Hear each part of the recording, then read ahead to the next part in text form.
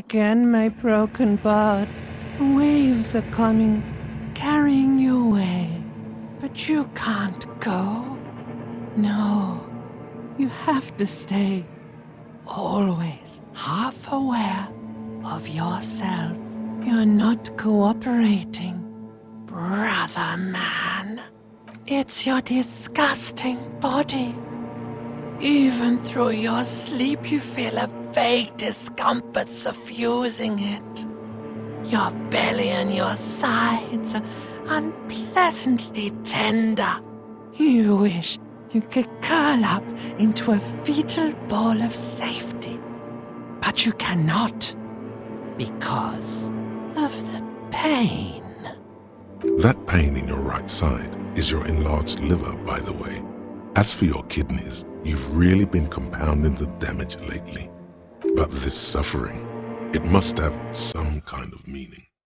A story that will come out of it. Perhaps even a story that you will write yourself.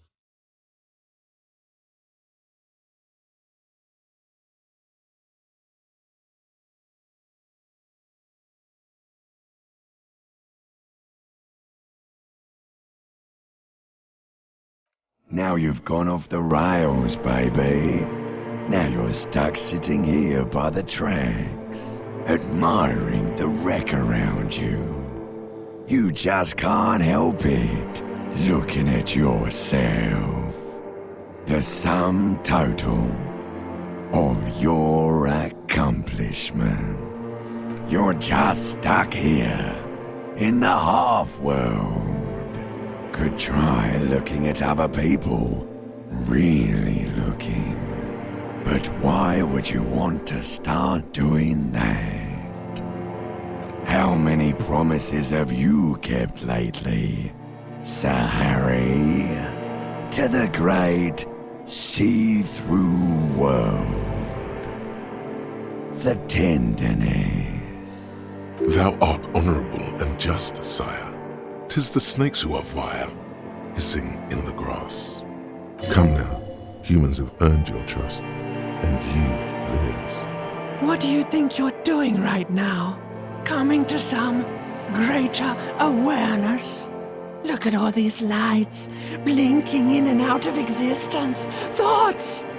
You're just pretending that you're asleep, even to yourself, while the world goes on without you.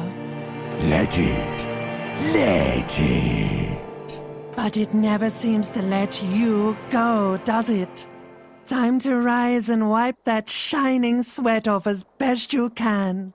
Gather your bearings. Rock and roll.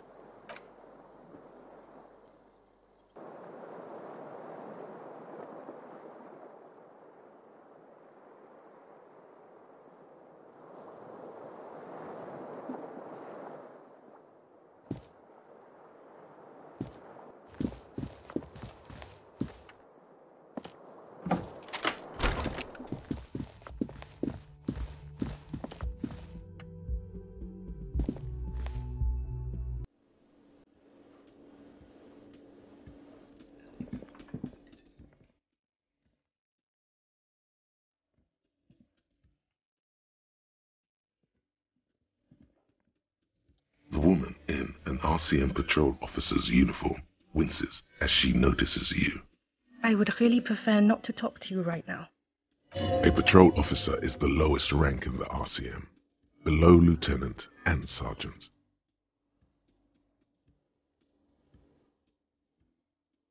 Yes, I am. I know. Here's the real deal.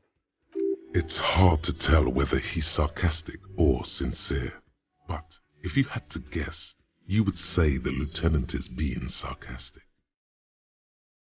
I'm definitely not the cavalry. I don't know. I mean, uh, why would I want to talk to you?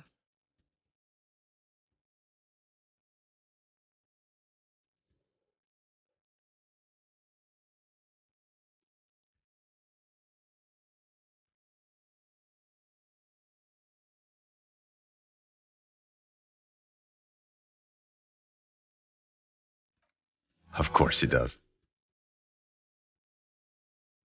Word of the end to come. Okay, fine. Let's talk. What did you want? Hmm. What does one talk about with a fellow officer? What precinct? Am I from? God, he doesn't know. Fucking deranged lunatic. You're getting an intellectually unsatisfying vibe from this conversation. Maybe you're doing something wrong.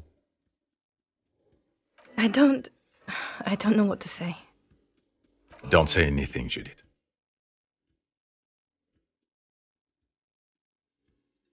Me? No. I'm just a man with sunglasses. I like wearing sunglasses inside. Sunglasses and a fucking wig. Okay. I'm just looking out for. No one. I'm just a man with sunglasses.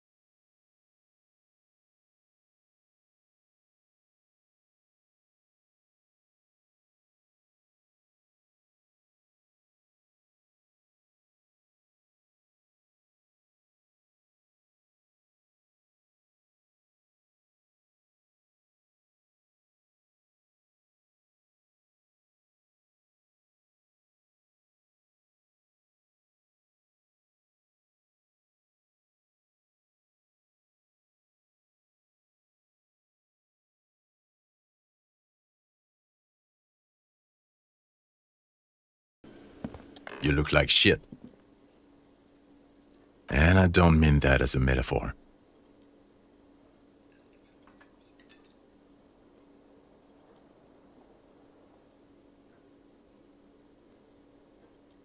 Yeah, I know. That's what I'm going by here. Oh, come on, Jean. It looks like it's been a rough week on him. It's not just this week. What do you want? There's something about this guy that matches with a face in your head. A similar but different face. He might be wearing a disguise.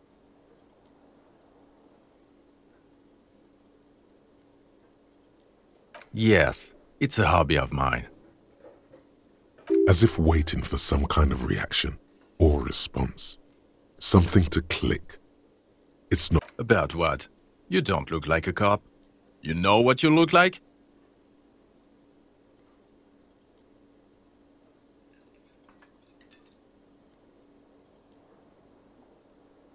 Yeah, sort of. Okay, I get the reference. Like after he got run over or something. He didn't answer your question.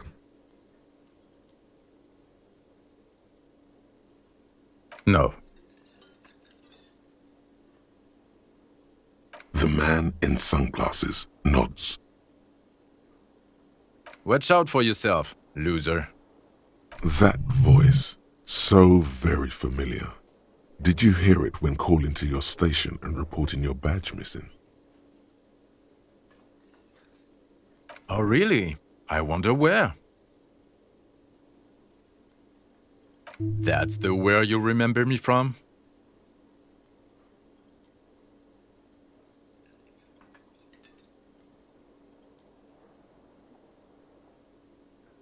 You don't say. Goodbye then. The voice thing was a coincidence. Run along, asshole.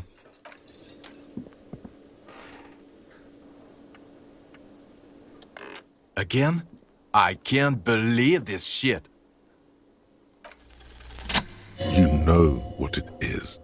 It's like the two of you know each other. Just ask him. Oh, I definitely know you from somewhere. Another life. Yes, from another life. A different life. Maybe the life of a police officer belonging to the ranks of the... To what station do you think you would belong in this alternate and totally fictional reality?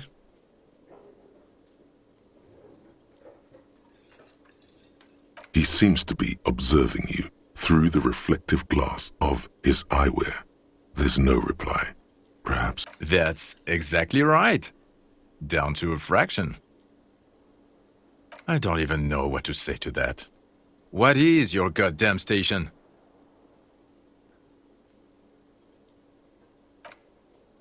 I think even in this fictional reality, the 57th would still be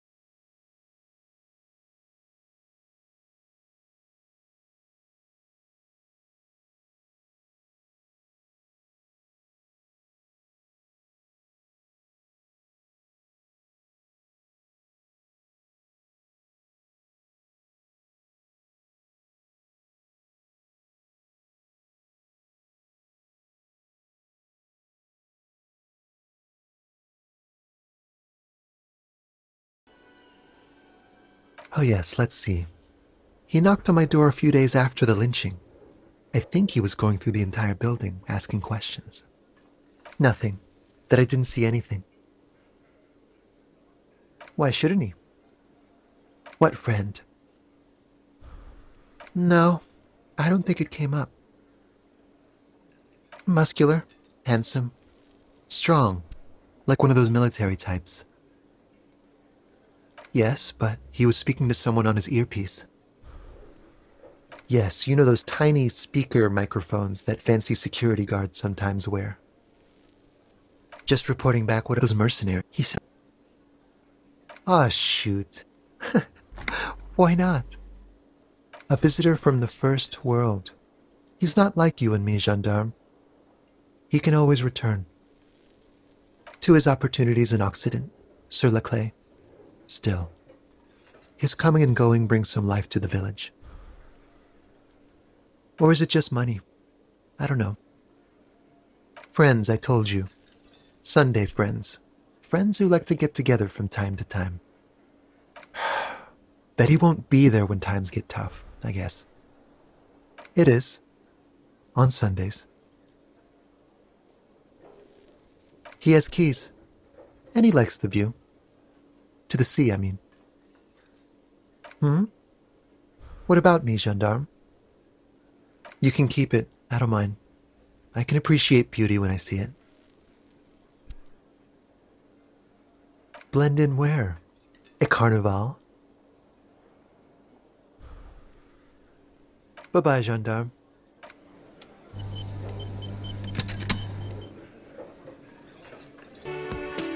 Hi again, gendarme. Could he be a member of the homosexual underground? Just pointing it out. We're not talking about some kind of cult with members here. You made it up. The homosexual underground? Why, yes, I am, officer. Why? Do you want to investigate? Oh, it's a pleasure group. A Sub Rosa pleasure group congregating in cellars under the cover of night. Saturday night. Sometimes even Friday night. Or Thursday night. Sometimes the congregating doesn't even end. It carries on into our daily life. Oh, we're ambitious. We want to destroy the last vestiges of meaning, the last things people in Revachol have to hold on to, the true symbols of security. The meaning of man and woman, mother and father, their marriage. Everything will be constantly shifting and moving under our rule. The future will belong to a circus of identities just spinning around, surreal and unreal. You won't even know who you are anymore. But do you also like the razzle dazzle of gold? Do you like parties and discos and having fun under the vibrant lights of Saturday night? Because instead of the traditional family unit, we're going to have all this razzmatazz. And mysteries, of course, too. Mysteries of sexual nature, very esoteric. And disco music and drugs. Sure thing, officer. What do you want to know next? Bye bye, gendarme.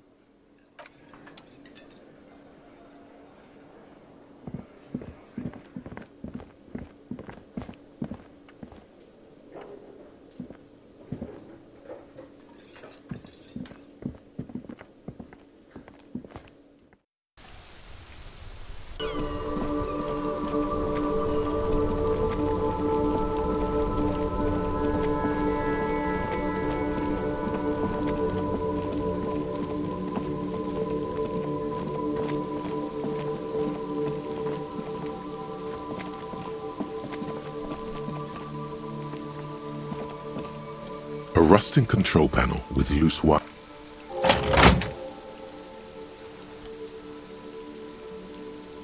The water lock starts moving.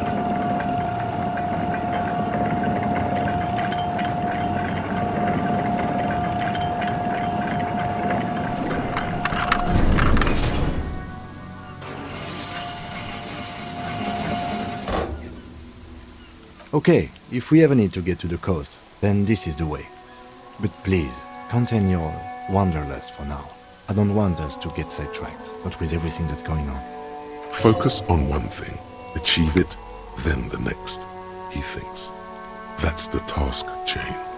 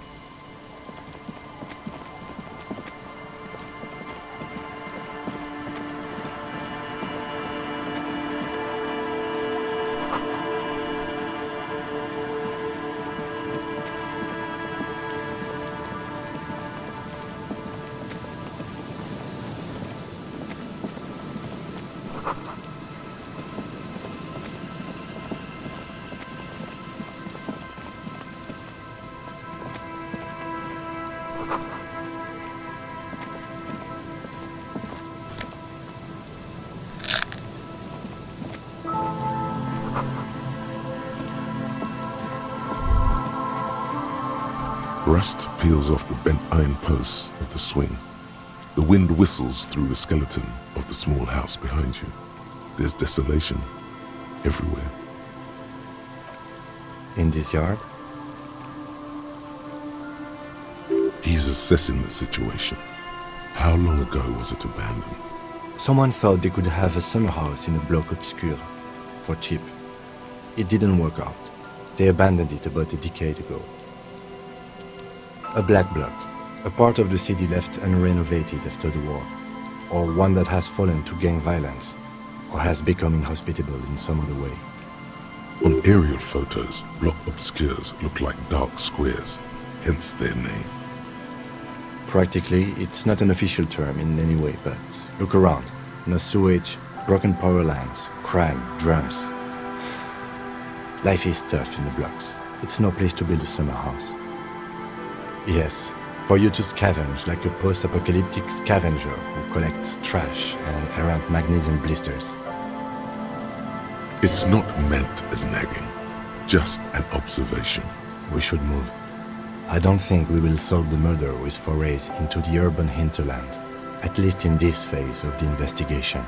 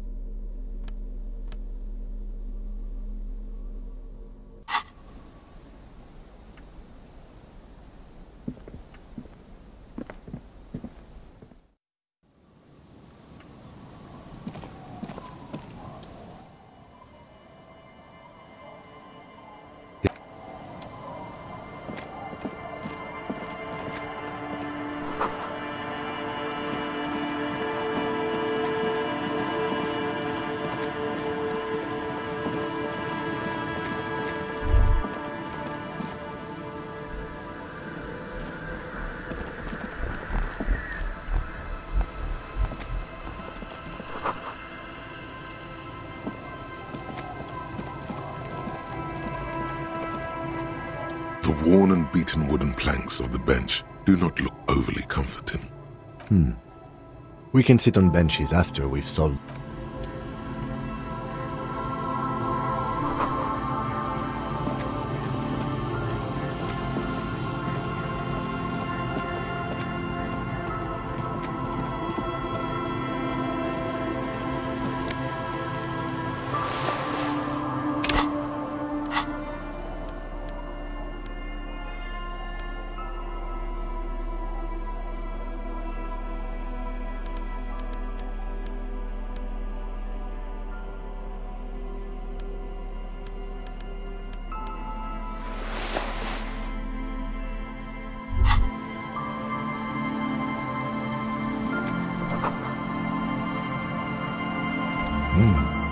These are some wonderfully regular pants. Not too tight, not too loose, moderate in every sense. You'll blend right in at some pleasant dinner party. Mm-hmm. I know you do. These Interisolary pants are like wearing a perfect compromise in your nether regions. No one will call the moral intern on you like this, that's for sure. You're a little more moralist now, buddy a little more normal, even if you didn't want to be.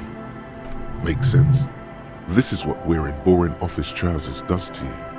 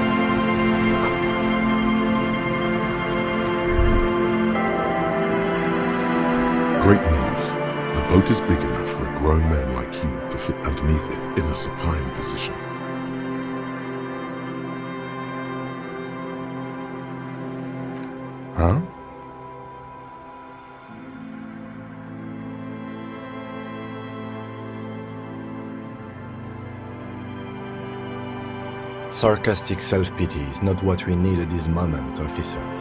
I understand the situation looks grim, but we must continue with our investigation. You have a home somewhere. All cops do. When this is done, you can return.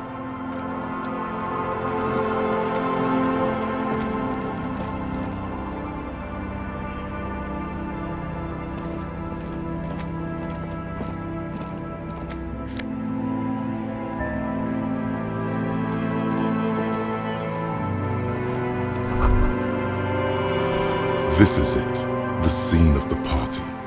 The fire pit. Cigarettes and empty bottles all evidence it.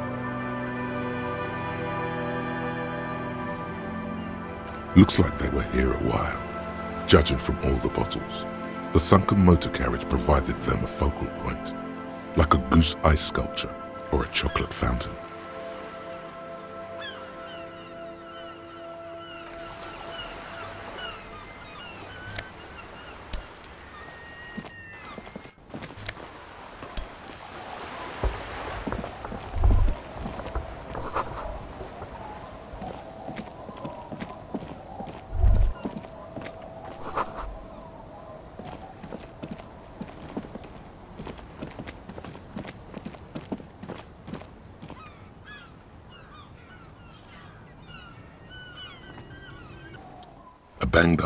Carriage lies half submerged in the icy water, slowly sinking into the Insulindian Ocean. Only the cabin top, rear wheels, and the engine remain visible. It must be cold and lonely down there in the icy water. Remember the tire tracks in Martinaise?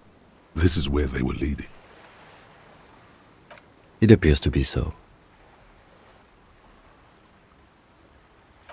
I agree. We should definitely investigate. You get a sudden sinking feeling. Stomach acid comes up as you look at the motor carriage in the deep, dark, cold water. The motor carriage is properly stuck in the ice. Getting it out would require a team of specialists. The logo is too deep in murky water. You can't make it out, but you do see a monkfish float by. The ice hasn't closed around the vehicle yet. My guess is it's been here since last Saturday or Sunday. The estimate is correct. The incident probably occurred on Sunday evening.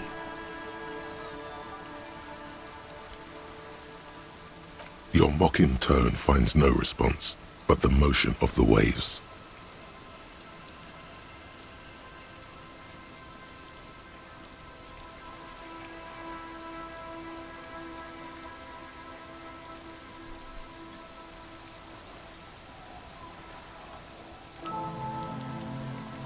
Yes, yes. Clearly, this is a trial. I'd say the vehicle has been here since last Saturday or Sunday. Let's wait for the low tide and see what's inside. Great idea. Then we can get the things inside. The joyrider must have left something good inside. Guns, papers, maybe a cool jacket. A joyrider jacket. A joyrider jacket. You feel a strange connection to this joyrider. Maybe he's from some kind of joyriders district and likes blue and white racing livery, like a cop would. I don't know. An hour or two tops?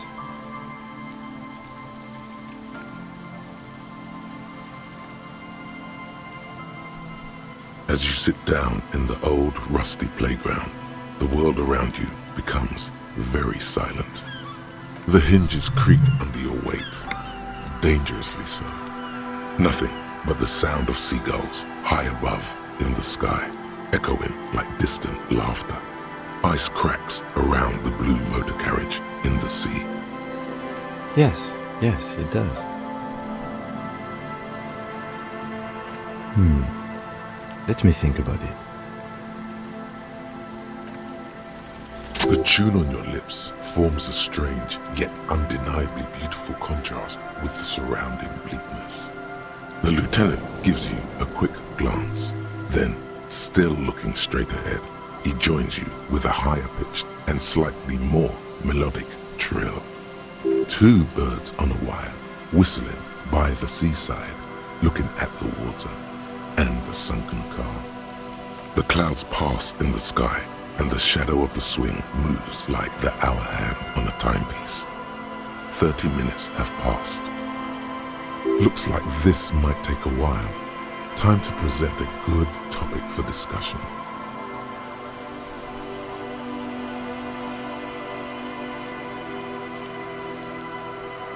Well, historically, leeches have been used to prevent and even cure many ailments. Okay, he's thinking. I can do this. Let's do this. Who'd want to sit on an anthill? There are no therapeutic benefits to it. Well, napalm ants, for example, are used in some rites of passage rituals. Clouds on the horizon grow darker, and the shadow of the swing set keeps climbing. You hear the distant rumble of the city. Thirty minutes pass.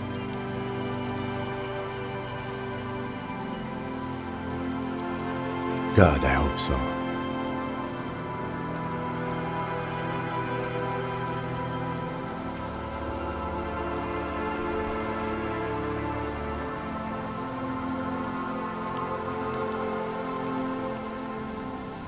Voice echoes on the water, strange and out of place in the environment.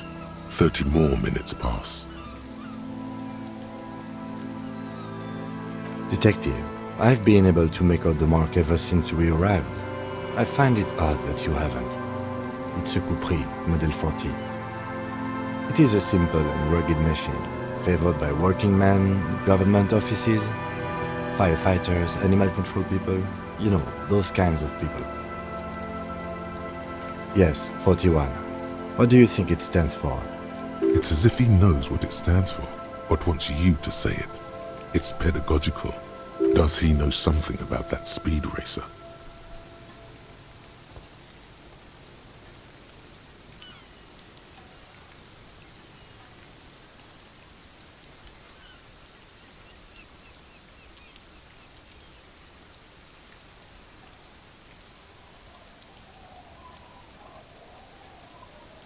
A precinct, yes. A police precinct. Precinct 41, your precinct. A massive pit opens up in your stomach, and the most terrible feeling comes over you. No, just nope. Say no to this, Harry. I'm afraid so, yes. It looks like you started in front of the whirling, jumped over the canal, and then drove your vehicle in the sea right here. Of whom? I don't think so. If anything, you were probably drunk. Detective, we don't. A rescue operation really isn't viable at this point. That is very unlikely. All the electrics are toast. That goes for the electromagnetic steering and brake systems as well. You'd be lucky to find one undamaged component in there. In a few months, there will be nothing but rust left of this vehicle. It'll be cheaper to buy a new one. Well, not cheaper. This motor carriage costs 40,000 real. But in the long run, it still makes more sense to buy a new machine than try to refurbish this.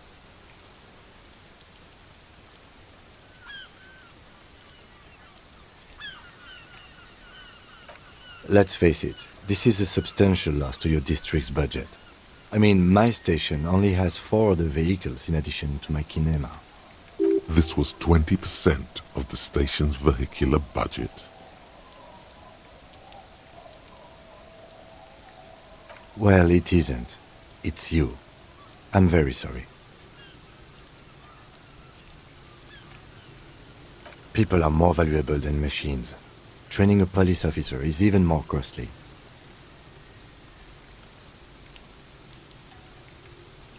The lieutenant adjusts his glasses and doesn't say anything. There is also a fourth thing you've lost. More precious than the gun, the badge, and the motor carriage combined. Lost forever into the deepest of seas. You can still whistle. Besides, the night is always darkest before the dawn.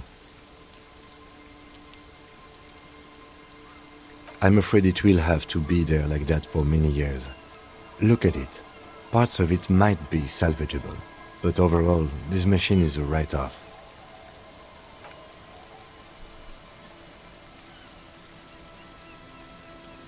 Yes, let's go take a look.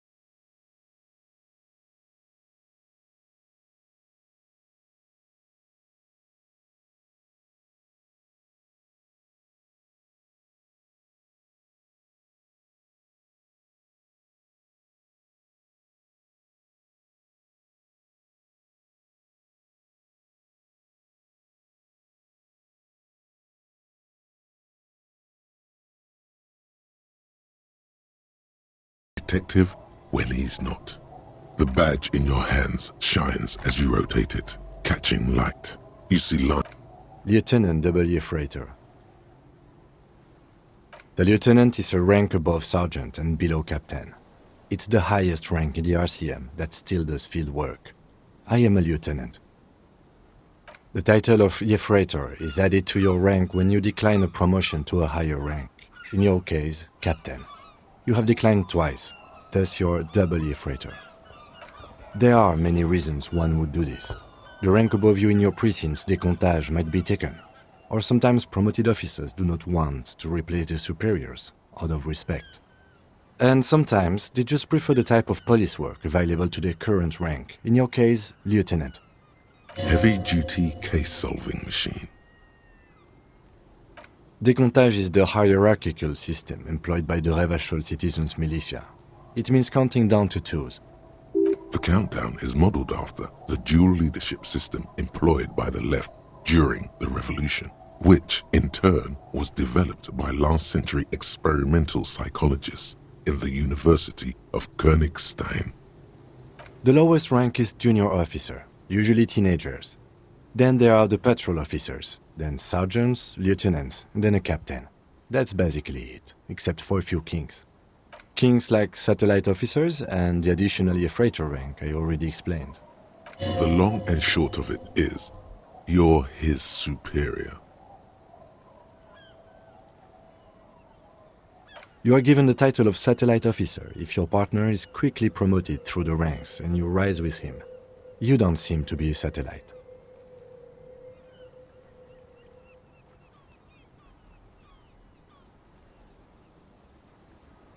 My pleasure. Yes, uh, apparently you've had a rather successful career in the past, and this leads me to believe maybe your current situation is only temporary.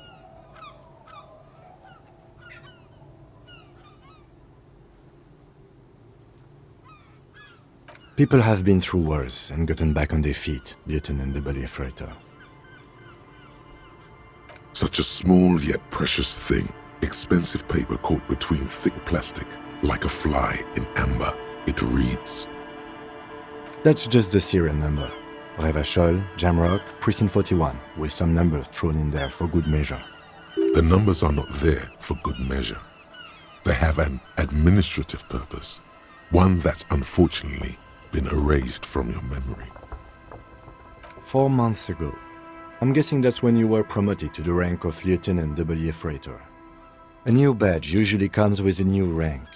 You seem to have been doing well then. You're pretty sure you weren't doing well, but better? Probably yes.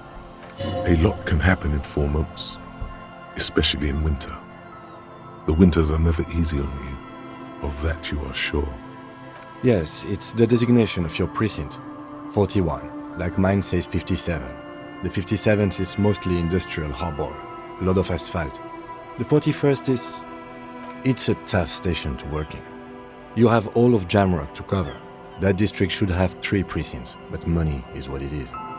It's no wonder you are like you are, he thinks. But then again... But then again, it's a legendary district, and a hell of a station too. It must be an honor and a curse to work with people like Price, McCoy, Berdiaeva. Roberts, Feuerbach, Dimitri. Suddenly, names from your decomptage flash in your forebrain. And you? Is it an honor to work with you? Don't ask him, ask yourself. The badge in your hand shines as you rotate it, catching light. You see lines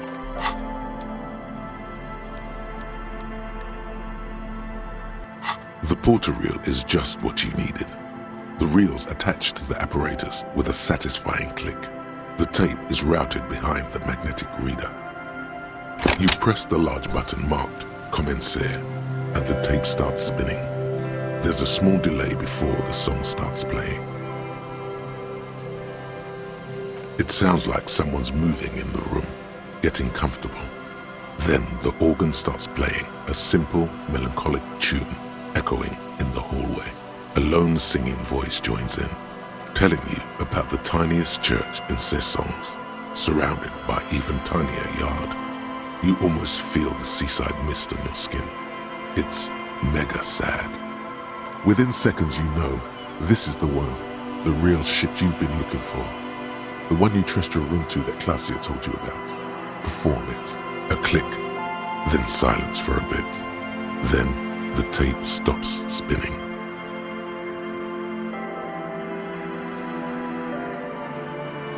Of course you could sing this. You could take sad to a whole new level with this. And you already know the lyrics since you've listened to it like a million times. Yup, they're all here. All three verses. And the B-side of the tape contains the instrumental version. It's like the world itself is telling you to do it. Only one obstacle stands on your way. God, you have to convince Garte to let you sing karaoke in the whirling. After you've won him over, you can express yourself. Let the pain out. Make everyone understand. The lieutenant watches you pack up the boombox. He doesn't say anything.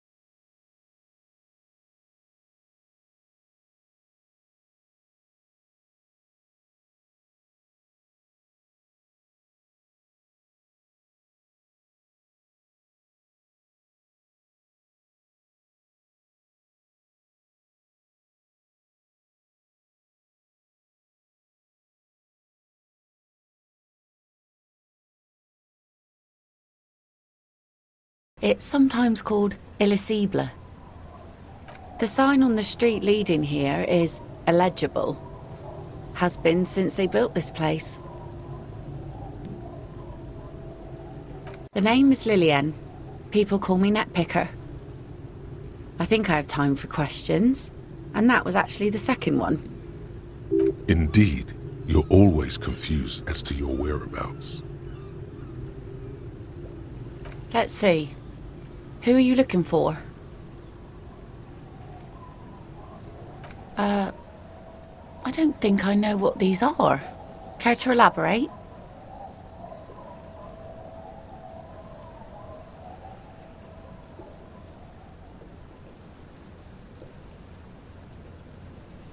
Aha! Like snowmen. Two old guys have been wandering around here, nosing sand, talking nonsense about snowmen and the like. Right. Not only snowmen, also green men, monkey men burning rhinos. You get the picture. Oh, you're getting it. And it is gorgeous. I don't really know. Further down the peninsula, I guess. I mean, that's where they were heading. Who else are you looking for besides snowmen? Well, how can I assist you then, officer? Are you? Hmm. This says by signing, I agree to living with construction noise. What exactly is the Union building? What a nice idea. Wouldn't have thought that. She sounds incredulous about the niceness of the idea. That Evrart and the Union have nice plans for anything. I thought they only cared about themselves. Well, I guess Union members have children too. And those members have a vote when electing the head of the local chapter. Aye. Why not? Fine. Here you go.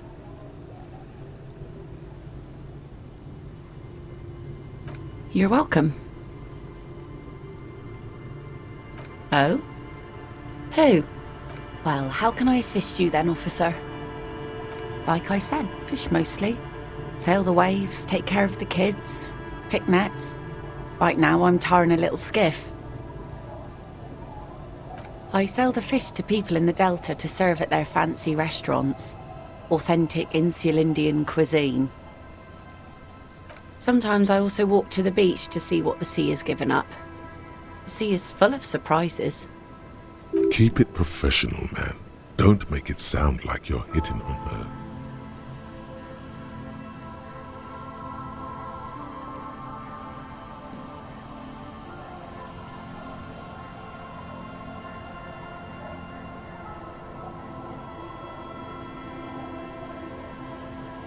Wood, pieces of glass. Every once in a while we see dead bodies. Human, animal, fish, other odd sea creatures. A mine washed ashore once. Bottles, drugs also. Lost cargo in general. Most of the time it's just wood and glass. All right. Major choice moment. You only get to ask one thing. It would be weird to say them all. Choose wisely.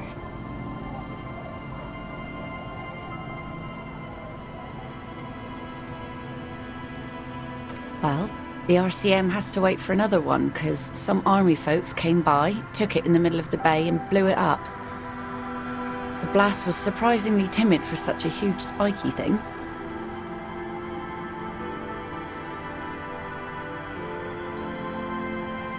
Unfortunately, the factory sold this one with a three year warranty instead of a story.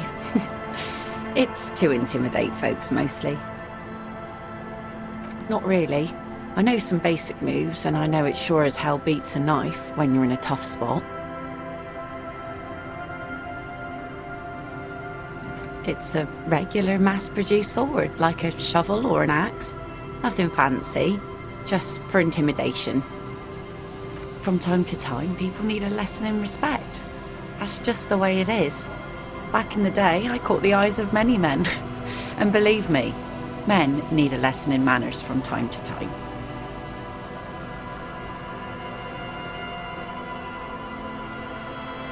No, I'm afraid not. Attempting to confiscate the blade I used to keep these animals in check would put me in an early grave. What makes you think we haven't? the truth is that almost everyone in this life is scared and tired and stupid and too dull for that. That goes for men too. But they put on an act for us. Pretend like everything's good and living in shit doesn't bother them. Like anyone falls for that. Oh? Believe me, everyone here is a proper man. Must be something about poverty that makes all the men real. Some went to patch their wounds, their lesson learned. Others were more thick-headed. And one of them, I ended up marrying. Guess I enjoyed the way he bled. If it is, then why the melancholy? Come.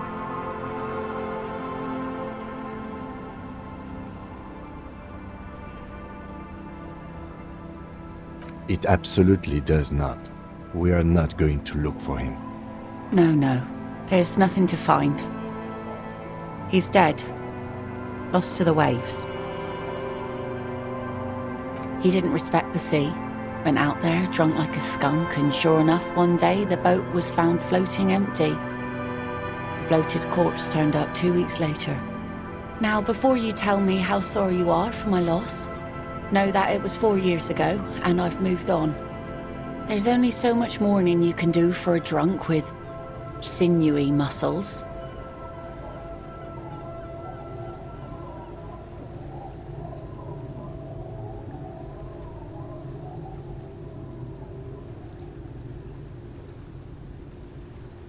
Us working folk don't have the luxury to be bedsick with melancholy. I buried him, mourned for an appropriate amount of time, and went on. Life didn't really change that much for me and the kids. This is neither a touchy nor a very interesting topic for her.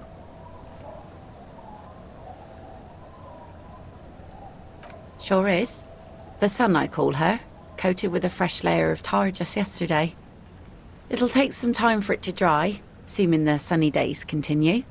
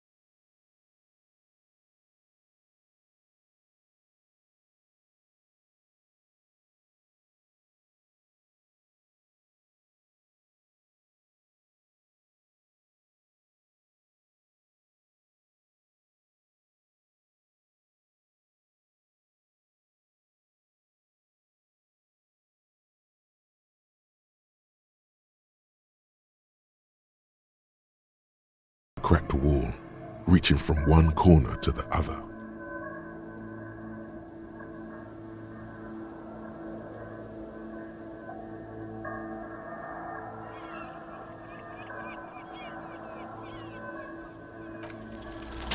A row of ghostly shades stand facing the wall. There are many of them, a dozen at least, their heads lowered and eyes blindfolded. It's quiet. No sound. No movement. Ten meters away, other shades are lined up in an orderly manner, automatic rifles primed. A gust of wind blows by. The coats of the firing squad flap slowly in the breeze. A single person stands on the side. The morning sun rises beyond the horizon, radiating the first light of the day. The order was carried out at dawn. A long time has passed since the moment of this fusillading. Rain and brine have since washed all the blood away. Not a trace remains. The abundance of bullet holes leads to two options. Either an inordinate amount of executions were performed here, or they did not use a conscience round, where only one soldier has the loaded rifle. Looks like this was a mass execution with everyone fully armed. A host of men, probably in everyday clothes, ragged from the conflict and covered in dust. They were not sitting, a common practice for executions in some nations, as demonstrated by the height level of the bullet holes. They stand, facing the wall. It's impossible to discern any details about their personality or background. Ordinary people, familiar, each and every one of them. Comrades, the forsaken, the wretched, who tried to rise against the horrors of the world. Seven men in combat uniforms and dark coats, holding automatic rifles aimed at the people. Soldiers from some side, but from which one? Men of duty, dark duty. Murderers, twisted by orders, young boys forced into killing. The commandant, the one who gives the order, machine gun fire crackling through the air, the lights of the muzzle flashes dancing on his face. I don't know. I don't know who died here, lined up beside that horrible wall. It could have been any of the parties involved in the revolution. Perhaps the ones executed here were the loyalist conservatives, killed by the communists at the start of the Civil War. Or it could have been the communists, put to death during the last stretch of the conflict by the coalition forces. It could even have been the employees of the Feld R&D Center down the coast, as their building was taken over by the revolutionaries. Or maybe. Yeah, it's very unlikely the coalition forces were the ones who died here. They were always the last ones against the wall. To be honest, if a coalition member was anyone in this situation, it was a commandant, the superior giving the orders. A cold sea wind blows away the figures.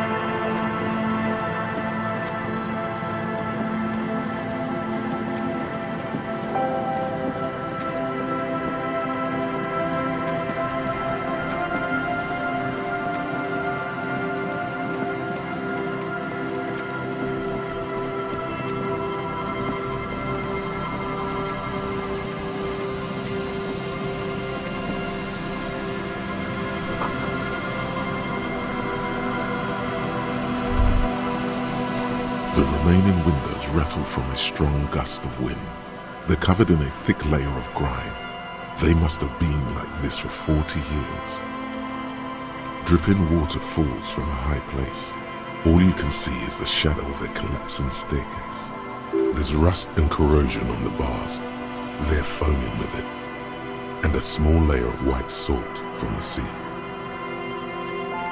No. I won't even try. You know,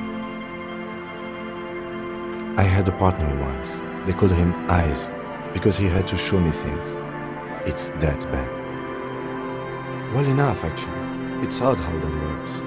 I'm no sharpshooter, but I passed my shooting courses 7 out of 10.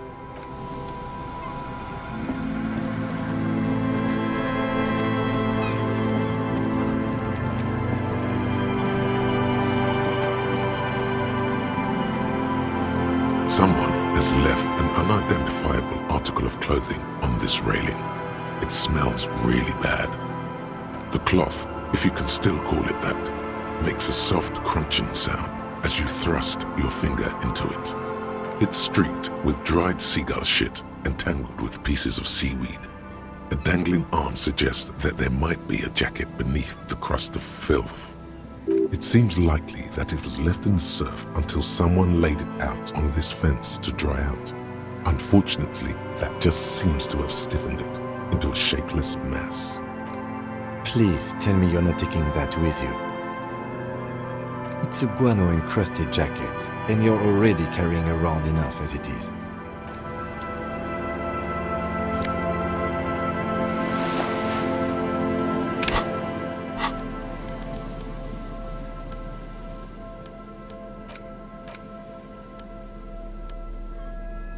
As you hold it in your hands, it makes an uncomfortable crunching sound. It's a sordid, filthy tale, not for the weak. Are you sure you can stomach it? Some secrets are better left uncovered. Don't even try. Seriously. It occurs to you that you're not even holding the jacket itself, but rather the thick crust of jetsam and seagull shit that ensconces it. It smells like a dead sea creature, tangled in grey strands of seaweed. It must have spent quite some time in the water before the tide deposited it ashore. Somehow, it was carried or dragged to the boardwalk, if not by human hands, then perhaps the feral dogs that prowl the beaches at night. The faint impressions of many footprints are also present, though it's impossible to tell what kind or how many. Suffice to say, the jacket spent some time on the ground before someone draped it over the railing. The crust is hard. This jacket spent at least a day baking in the sun. Who knows what happened to it then?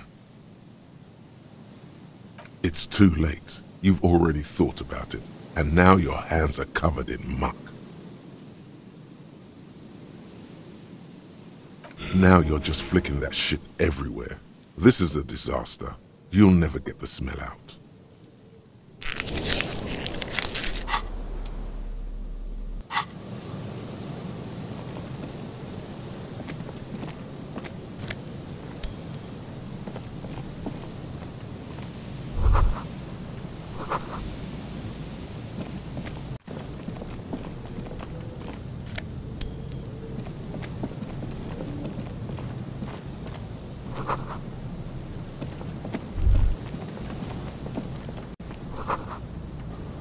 The smell. It's awful and familiar.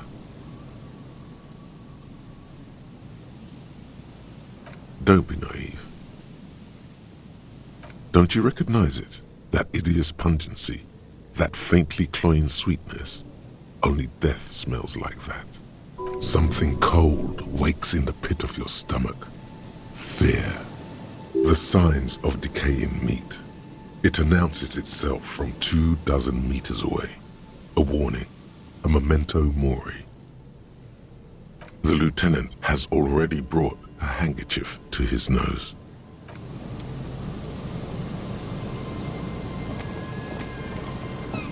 There's some tare, an empty cigarette package, and a crumpled kebab wrapper in the trash bin. Two empty bottles of Tallulah vodka and a can of black potent porter is all you find. No, there's more in there. Livis strawberry liquor, plus some Pilsner bottles too. Better not pick them up. They seem unhygienic. A tragedy. Whoever tossed it here was a heavy smoker. The brand name reads Red Astra. Red Astra is the black market version of Astra cigarettes, known for their high tar content. You see traces of mayonnaise and ketchup on it, as well as a tomato wedge. The wrapper reads Shish Kebab Revachol. It's no older than a day or two. No mold yet. It's hard to concentrate in the smell. The sea air brings some relief.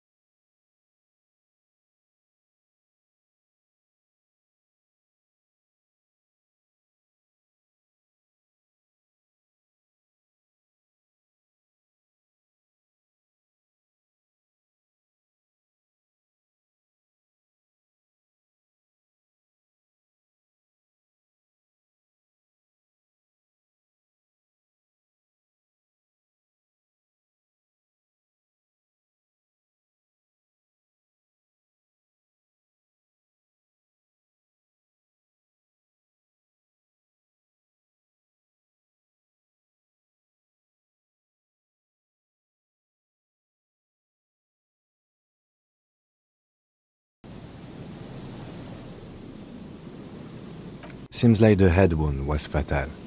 It's exactly the shape of the bench. They screech under your feet ominously. It's hard to say whether the dead man's weight was the cause of the boardwalk to break. It definitely looks fragile. You see waves churning below. Something cracks beneath your feet. He could have easily disappeared into the sea through that hole, and you would have never found him. A .75 liter Tallulah vodka with its cap missing. There's hardly anything left inside. Tare all around us.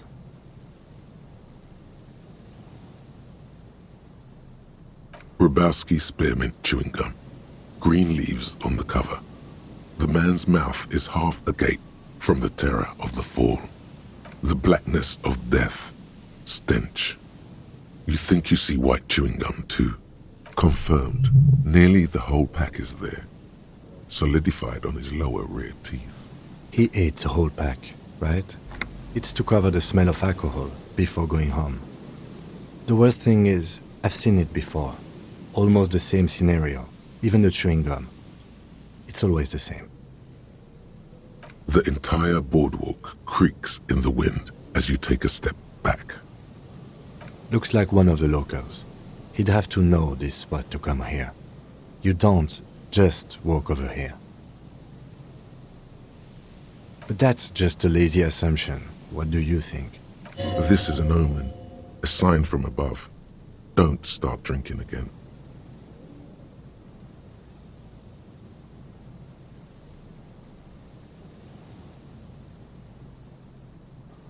We do know that he was married. But you're right. Let's not run ahead. For now, all we know is that he's an unidentified middle-aged man found dead on the Martinaise boardwalk. Death by misadventure. He slipped and fell through the boardwalk. A truly unfortunate accident. If it wouldn't have been for that bench, he'd be alive.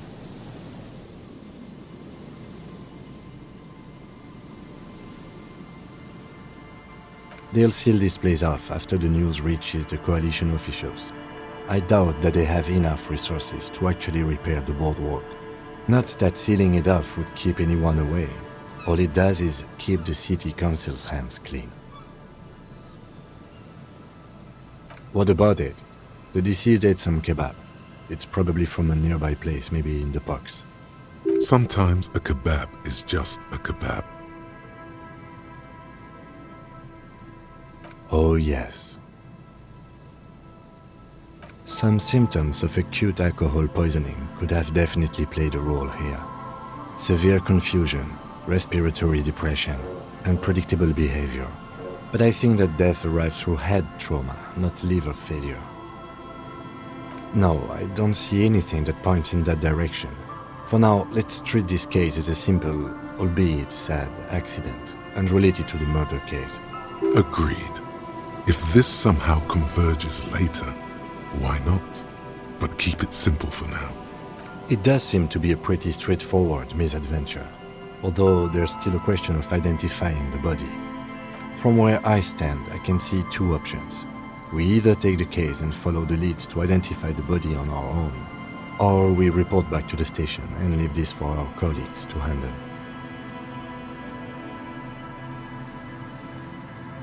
Alright, we should first examine the library card you found. Then we can call the station from my Kineema. Let them know we are taking the case.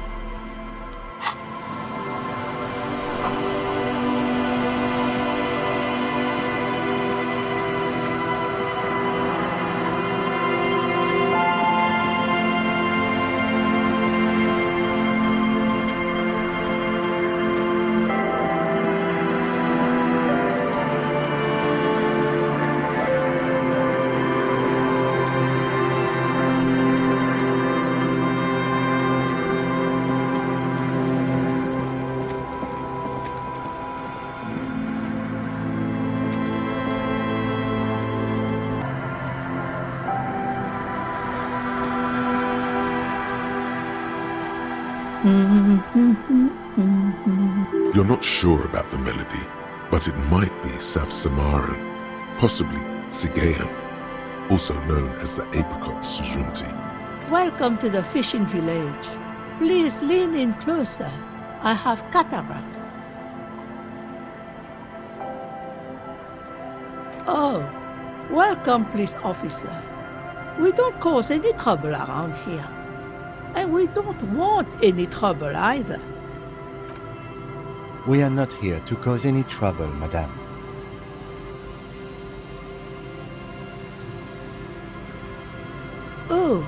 Of course. Last time we saw you around here was 12 years ago. You also came to take care of trouble then. Wish you did. But still, in Martinaise, you're considered an ill omen.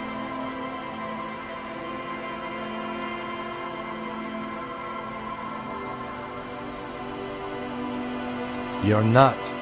No one around here considers us an ill omen. People would have told us. Maybe they are afraid. Because you're an ill omen, but you're still welcome here, as long as men with guns aren't chasing you. And maybe even then, because that's the kind of fishing village we've built. I'm sorry there's not a lot of room to park the motor carriage, and not a lot of houses, or a lot of people. My kids are long gone, searching for treasure. So are others. Ah, look at me ramble on. What brings you to us? Stay? Most people here are trying to leave. That said, if lodgings is what you're looking for, I've got a free room in the shop.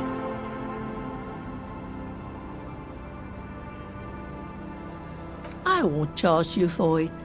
Take it as a gesture of goodwill from the village to the RCM.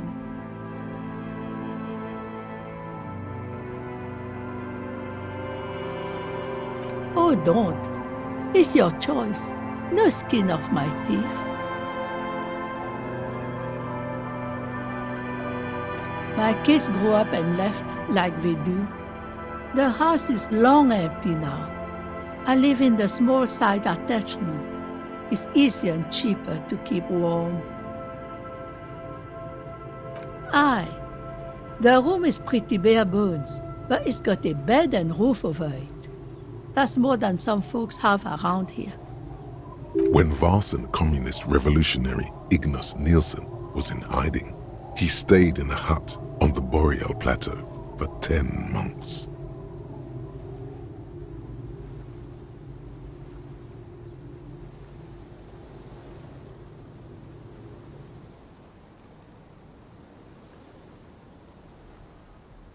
Go ahead. Call people rude things. We've heard worse here. Now, are you interested or not? Suit yourself.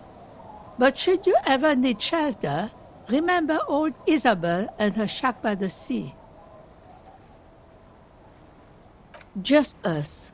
It's barely a village anymore. We almost don't exist. This is pretty much a non-place. A gap, a blank spot on the map, just a cluster of nameless shacks on a nameless street. The place is so pornographically poor, it's not even funny.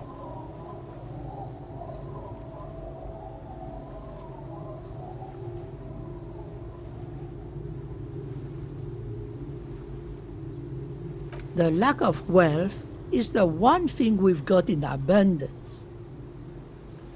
Its a cold, cynical smile. Riddles fits with the general ambiance here. Aye, sometimes it's as though I'm also gotten lost inside this nameless nothing. Oh, it seems to be a common theme these days.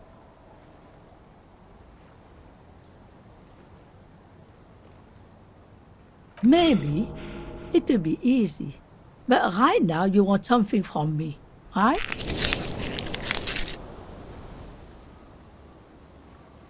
Over there you can find more of the same. Sharks and trees growing wild. That's the pox. an old military hospital and its surroundings. Or it used to be, during the time of the suzerain. After the war, it was turned into a goodwill hospital for shell-shock veterans and folks looking for some quiet in the old sanatorium gardens. Now the area is crisscrossed with nameless streets and makeshift cinder block houses, shacks as far as the eye can see. The goodwill ran out. The staff left and the place was shut down. It's long gone by now. Well, there's Lilienne and her kids. A few new folks live in the house to the east, but they're away right now. And then there's the drunks. Not a pretty sight, but there's little we can do about it. Home is home, even for them. Lilienne is tough. Tougher than the men here, at least. If it wasn't for her and the kids, this place wouldn't have a spark of life left. Sooner or later, you'll see for yourself. Don't have to look long to find these guys. Here, for you, no officer.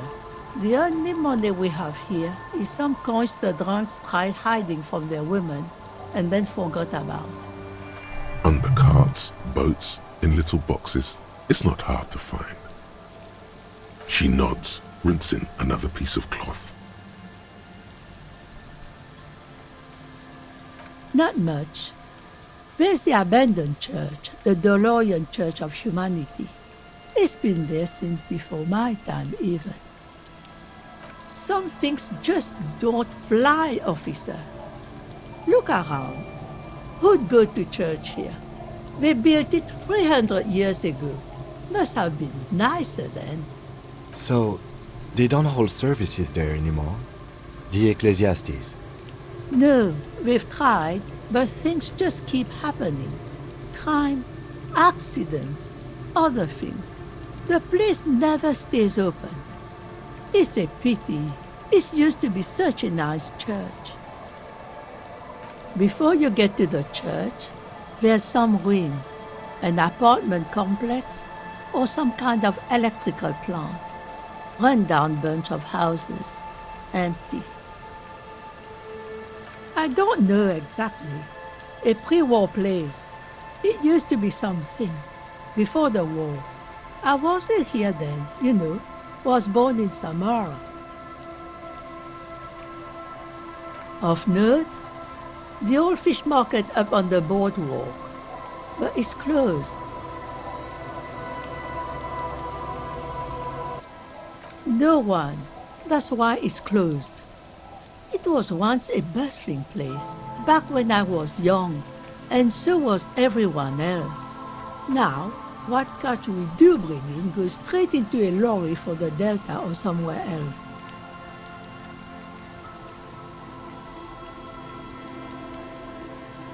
As I said, it's a peninsula. There's no one there, just ghosts and vagrants, and teenagers making out. Me? No one. Just an old washerwoman. Mother called me Isobel, if that's what you're asking. And my married name is Sadie. Now it's your turn, Mr. Quite a handle you got there. So many titles.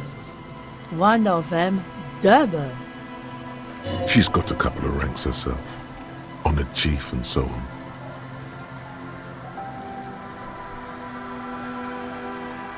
Eh? What's this about? Come now, I can't read all the scribble. Tell me what it says.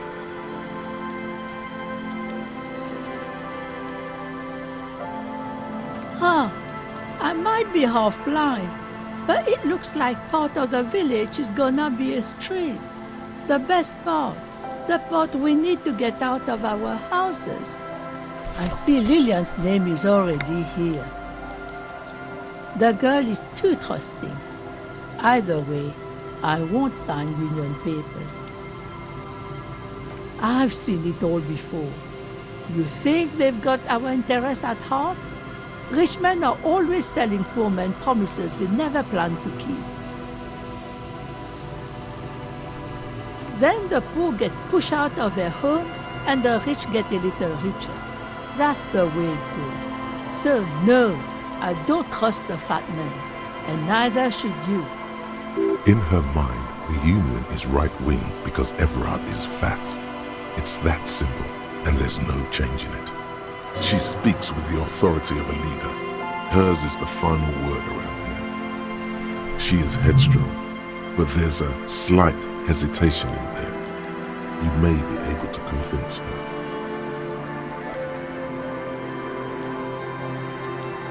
I can wash it for you, but it's going to take about a half an hour. Think you can stay put for that long? I could use a breather.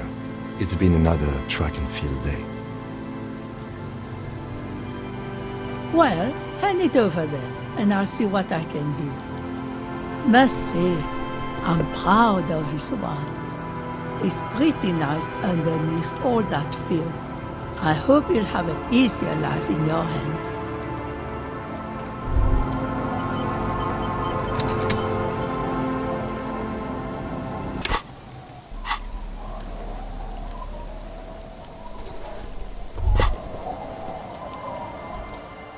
There's a gap where the name of that song should be.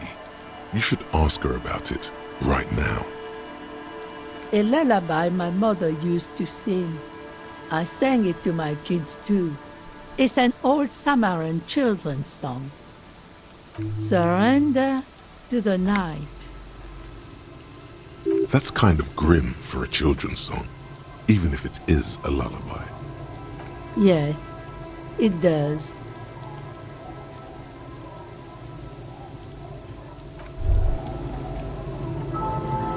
Honorable One, you have accumulated a substantial amount of honor points on your life path. You are a man most virtuous. Of course there were honor points. Did you think no one was paying attention to all of your honorable deeds, Honorable One? Oh, the modesty on this one. Another 10 honor points for you, sir. You are on the fast track to becoming one of the rarest, most revered of all police officers, an honor cop. Yes, your deeds have spoken for you, Honorable One, but to fully drape oneself in an eternal cloak of honor, a ritual must be completed. A rite of honor. Even among the honorable, only the most dignified are deemed worthy. But you, O Honorable One, have excelled in honor.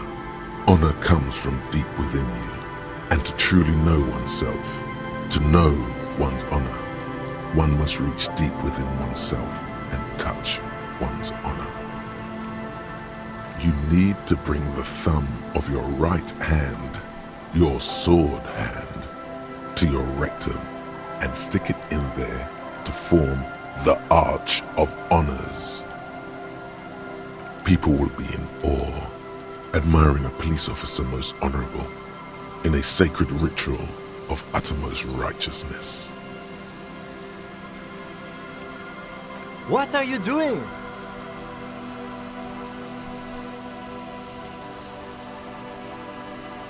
Really? It seems more like a personal hygiene thing. But let's not dive deeper. You're right. The lieutenant, although a noble man, does not understand honor like you do. Best not to waste time trying to explain. Lead by example. Congratulations, Honorable One. You have become a member of a noble faculty. A man kneels, an honor cop rises. Go forth and commit even more honorable deeds. And should your resolve ever waver, remember the right of honor. Will always cleanse a man's soul. It is an honor to serve with you, Honor Cop.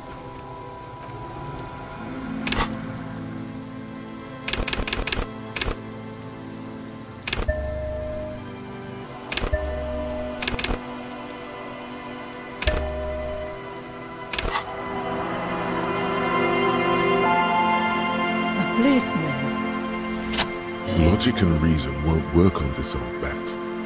Better go for shameless emotional manipulation. What's the grandmother's deepest vulnerability? What do you mean? What's going to happen? We are gonna grow up, of course. I raised my own kids in this village and they are doing fine for themselves. I, they are good kids. I brought them up the right way. No, we moved to Faubourg for work. Well, I imagine we'll grow up and leave too. You've got her. Now just reel her in. Then, Wait. Let her come to it herself. I don't believe the Fat Man's Youth Center is going to change anything. But what other choice do we have? It's not like the coalition government is coming to save us. I won't be around much longer anyway. Not with the dampness in my bones.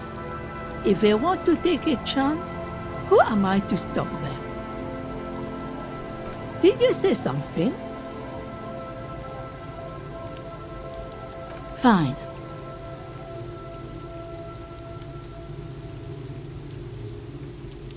See that you didn't just get us all screwed.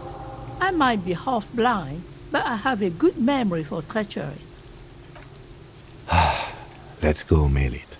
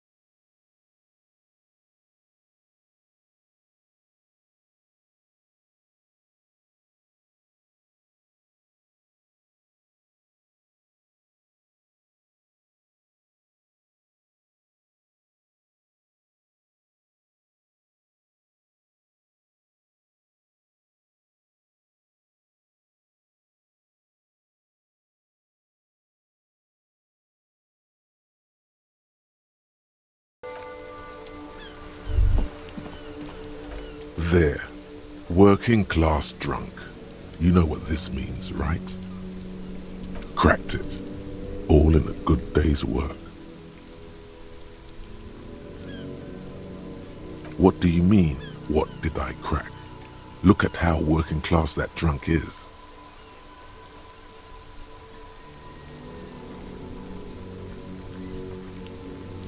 No, it's not.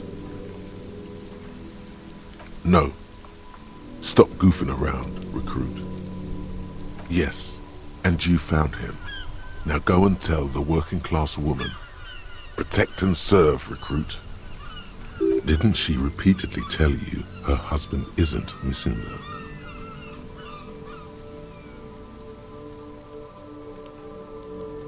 Do marriages make any sense? Does honor? You're not a filthy philosopher. You're an officer of law. It's time to ace this case and not brood over your reputation. We can deal with the perception management later. There's no need for champagne when there's honor, recruit. Go and tell the working class woman what you found right now.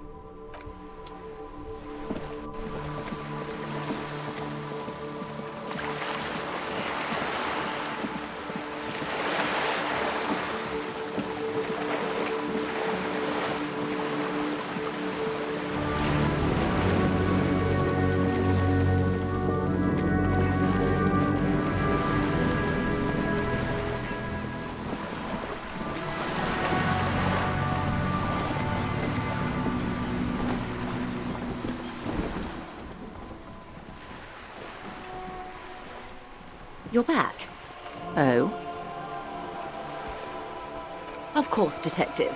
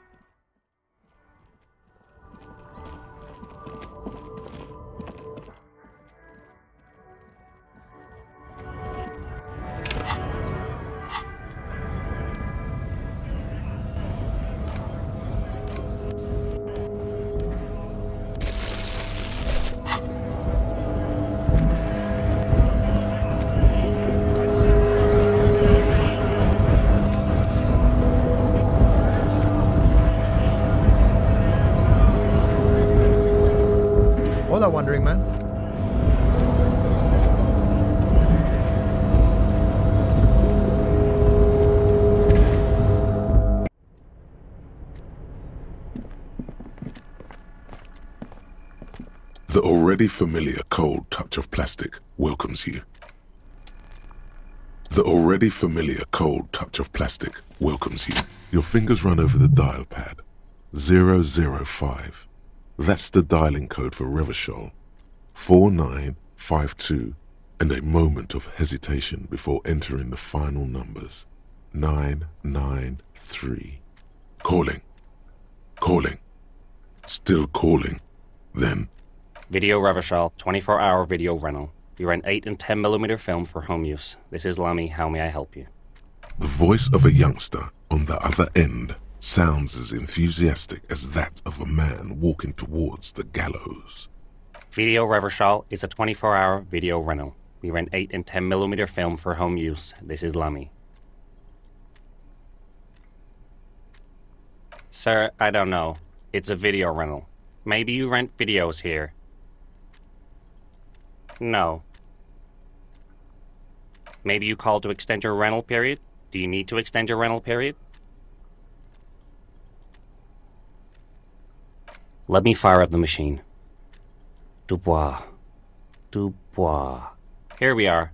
You haven't rented anything in five years, but you still have a copy of Blue Ocean Hell from November 46. Whoa, not a fun film, that one. Ugh, it's not an easy watch.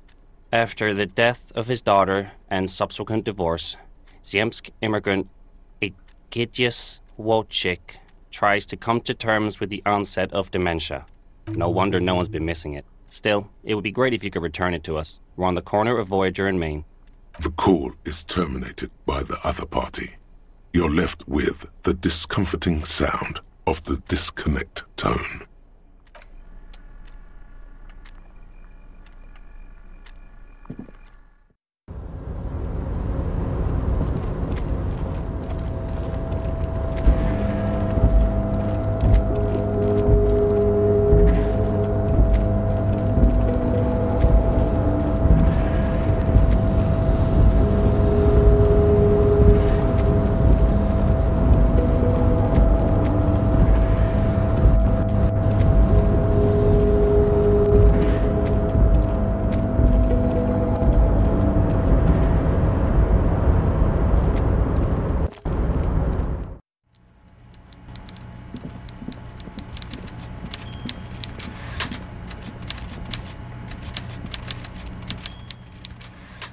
Mr. Dubois, I hear the meeting with Titus was a glowing success. That's such a relief. Titus can be a handful sometimes. Now, what can Evrart Claire do for you today? The Golden Boy returns once more. Wonderful. Simply wonderful, Harry. Of course. I already knew this. My friend, the mailman, confirms the letter is on its way. You've done a great thing today. You've given the children of Martinaise a real future, Harry, and I feel I can finally trust you now. You're in my inner circle. You too, Mr. Kitsuragi. We can talk about anything. The strike, the murder, your lost gun, Nothing is off the table. Hear that? You did it the honest way. You got the real signatures, and now he's happy. Well done. We would have preferred trickery, but the choice was yours, sire. As always. You are the liege, and you're in.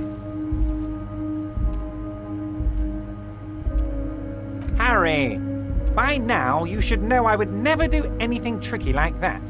However, if the construction noise and limited street access makes some people consider moving, well, let's just say there'll be freshly renovated buildings near the roundabout where those poor people can finally enjoy a significant uptick in quality of life.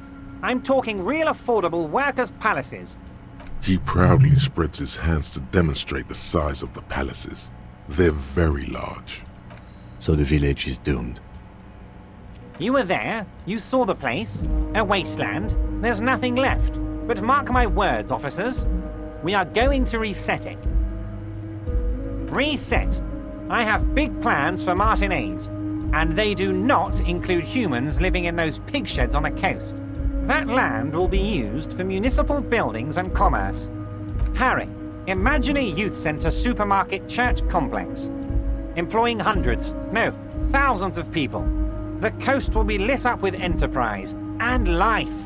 All those ruins out there turned into low-income housing. Harry, enough is enough. We're taking this district back. The war was 50 years ago, for God's sake. It's time to move on.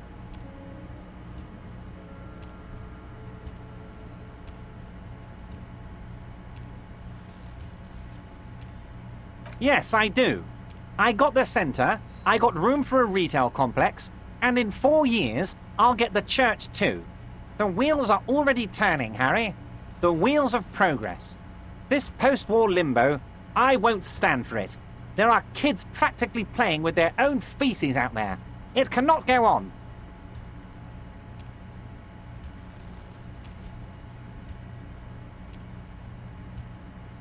Damn right I am, Harry. I'm gonna make the working man as rich as she is one day. That's my job. Just like yours is to keep the peace. I did not, Harry. Although I am very, very glad he's dead. Why a war, of course. And what do you have to gain from a war? Victory, Mr. Kitsuragi. I have victory to gain. We are going to start a war with the Wild Pines Group and win before they even realize there is a war. Harry, we outnumber them 1,500 to 1, and that's just Martinaise. With all the unions in Revachol, and with public opinion on our side, we can hold off two men, or 15 men, or even 50 men. The more they send, the worse it's going to look for them. They made a huge mistake hiring those guys. No one likes foreign mercenaries. The leftists hate them, the fascists hate them, even the moralists think they're in bad taste.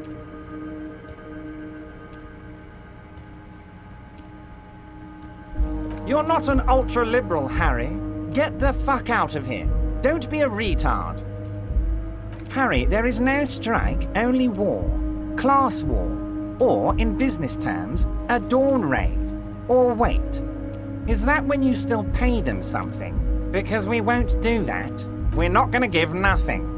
We're going to take Terminal B away from them. The roads, the gates, the containers, that big crane, even the damn coffee maker. We're going to take all of it for the people, and fuck Wild Pines. The word fuck rings like a gunshot from his mouth. He doesn't swear often. So that's why you haven't let Joyce in? Yes. It's also why I let that midget Gaumont go. He's too nice. I can't put him through this. Plus, he knows how to get in here. That woman can't tell her tits from her asshole. She has no chance. Tits from her asshole. It's a local saying. Actually, no, it's not. Because we're friends, Harry. Besides, it doesn't matter now. You can go tell her if you want. It won't change the course of events. We have a significant head start. It's already happening.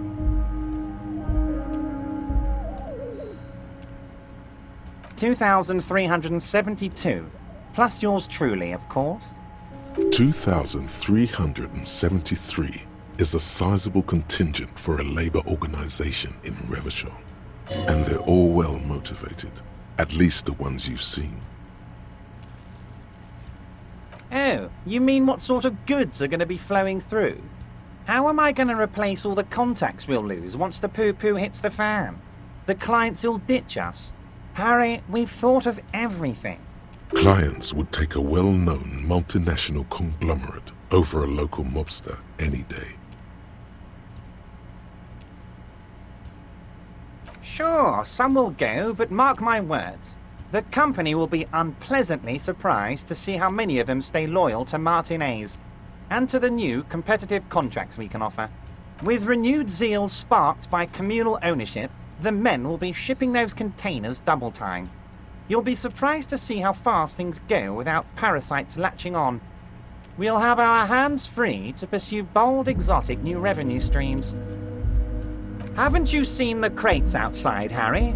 There's all sorts of fun stuff inside them. I mean, heck, this one has you and the lieutenant, me, and my novelty swordfish clock. Did he just deflate slightly? Was there something he wanted you to ask about? Maybe you should come back if you learn something relevant and ask again. You should definitely come back here and ask again if you learn more about the Union's dealings. There's something he's not telling you. Harry, I've got to be honest with you. Your gun was found two days ago. Withholding this information weighed heavily on me, but it had to be done. Your gun is with an old woman. I hear she's a character, so watch out. This must be the woman who bought the gun from Roy. The one he described as terrifying. Yes, the same one. I see you've done your research. The pawn shop made the gun easy to track. Crazy stuff, Harry. Selling your gun like that? Wild. Anyway. Union Boy's gonna help you fix it. He winks at you. Don't worry, Harry. The neighbors of this old woman contacted my men because they trust me and the Debarders Union. Apparently, she was waving it around at the entrance to her building. As I said, she's a character. I didn't have time for details. It sounds like she's unstable, but don't worry. No one got hurt. Unfortunately, I don't know anymore. You're gonna have to go in blind, Harry. But she's an old lady. How dangerous can she possibly be? Oh, and she calls herself the Pigs. There it is again. The pigs. Like Roy said, not good at all. I, for one, find it refreshing. Finally, someone calls themselves a pig. It actually sounds extremely bad, but let's not give him the satisfaction. I already have. Tonight, starting 10 o'clock, near the old fish market on the coast, the one on the boardwalk, a little past the fishing village. Be careful, Harry. I would never set you up for anything dangerous, but you did ask for this. Now, back to the fun stuff. She will be there from 2200 hours till 0200 hours. More fun stuff. Seems like we already have fun stuff to do. Great, Harry, great. I think we have truly built a bridge between Martinaise and Jamrock today. We have united the RCM and the Debarders Union. This has been so great. I'm sorry we don't have more fun things to do together, but if you ever feel like bouncing something off me, my door is always open. I'm always happy to educate and entertain you. Very nice, Harry. Is there...